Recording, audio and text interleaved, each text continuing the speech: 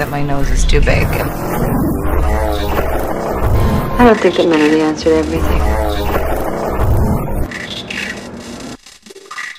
Then why do we always end up talking about